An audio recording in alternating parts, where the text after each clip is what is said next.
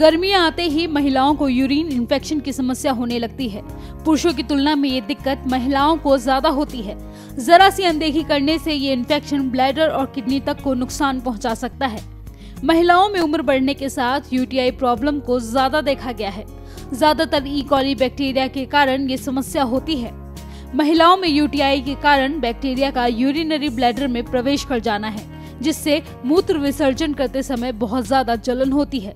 गर्मियों में महिलाओं को यूटीआई की दिक्कत ज़्यादा होती है। इसका कारण होता है कम पानी पीना, जिससे डिहाइड्रेशन की समस्या बढ़ जाती है और ब्लैडर में इन्फेक्शन होता है। इस बीमारी के कोई भी लक्षण दिखने पर तत्काल जाँच या इलाज कराना चाहिए। आइए जानते हैं किन कारणों से होता है यूरिन इन्फेक्शन कैफीन के इस्तेमाल से।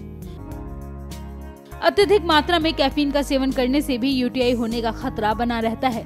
चाय और कॉफ़ी में मौजूद कैफीन शरीर में प्रवेश करने के बाद प्यास को खत्म करते हैं और इस वजह से हम पानी का पर्याप्त सेवन नहीं कर पाते, जिससे डिहाइड्रेशन होता है और आप आसानी से यूटीआई की चपेट में आ सकते हैं। कोल्ड ड्रिंक्स के सेवन से कोल्ड ड्रिंक एक कार्बोनेटेड ड्रिंक है, इसे पीने से मूत्र क्षारीय बनता है और जलन कम होती है। लेकिन ये डिहाइड्रेशन की समस्या को कम नहीं करता। इसका ज़्यादा सेवन हानिकारक हो सकता है। परिणाम स्वरूप यूटीआई होने का खतरा ज़्यादा रहता है। कैसे पाएँ यूरिन इन्फेक्शन से छुटकारा? यूरिन इन्फेक्शन से बचाव के लिए हमेशा स्वच्छ शौचालय का ही इस्तेमाल करें। घर के बाथरूम को साफ़ रखें और पब्लिक टॉयलेट का इस्तेमाल ना के बराबर करें। शरीर को डिहाइड्रेट होने से बचाएँ। अगर समस्या ज़्यादा बढ़ गई है तो तुरंत चिकित्सक को दिखाएँ।